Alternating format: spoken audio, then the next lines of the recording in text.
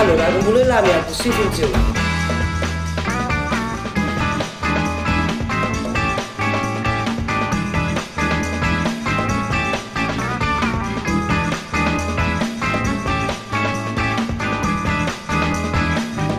Eh, ci organizziamo 15-20 persone. E iniziamo a giocare. Perché purtroppo Bing si può qui allora abbiamo deciso di organizzare nelle case.